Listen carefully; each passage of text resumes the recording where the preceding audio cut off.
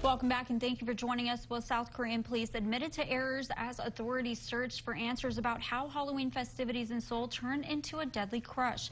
A crowd search began at a nightlife district, setting off a panic that killed more than 150 people. NBC's Matt Thomas Maresca reports from South Korea.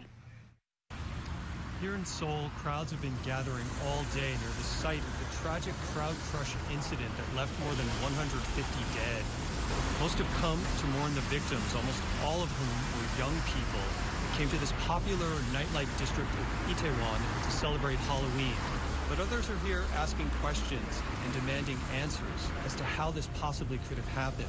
Government officials have put together a task force of some 475 investigators, and they're conducting interviews, reviewing security camera footage to try and piece together the sequence of events that led to this disaster. Talking to witnesses and bystanders that were here that night, though, many say it was clear there were not nearly enough police and that authorities were slow to react as crowds grew dangerously large.